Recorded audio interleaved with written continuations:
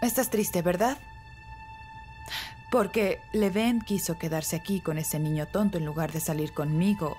¿Verdad que te afecta?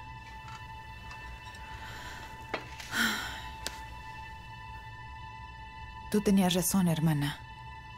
Con ese maldito niño aquí, no tendré a Leven ni en sueños. Tengo que deshacerme de él. De alguna forma. Debo hacer que el maldito desaparezca para siempre.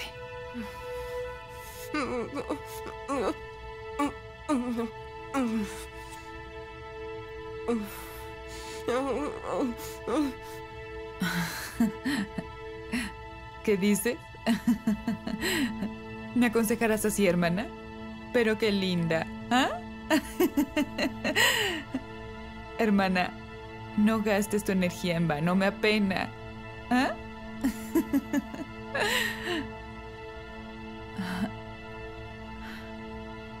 Oye, ¿tu marido dónde está? ¿Ah? Su miserable esposa lo espera con ansias, ¿no es así?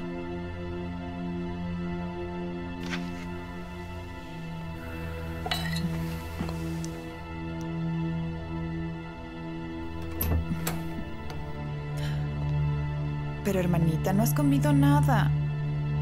No mejorará si no lo haces. ¿No ha comido? No, aún nada, pero podrías hacerle una sopa. Bueno, si quieres yo se la preparo. Ay, ¿por qué, amor? ¿Por qué llegas tan tarde? Sabes que mi hermana te espera. Ah, mi amigo Yusuf, tú ya lo conoces, es mi amigo del club. Estuve con él y me habló sobre un médico experto. ¿De verdad?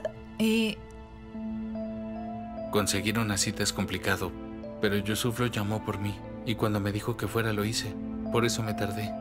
¿En serio? Ah. Eh, ¿Y qué te dijo? Estuvimos hablando acerca de Ulya, pero dijo que ya no me preocupara. Al principio le tendrán que hacer una tomografía y exámenes. Luego, de ser necesario, el médico vendrá a ver a Ulya. Puedo asegurarte que se recuperará. ¿Verdad, mi bella esposa?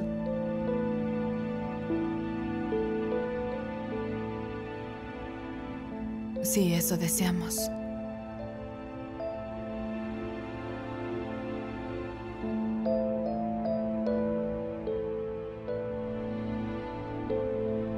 Créeme, si una mujer tiene un esposo como tú, se pone de pie incluso si está muerta. Gracias, Melis. Qué amable eres.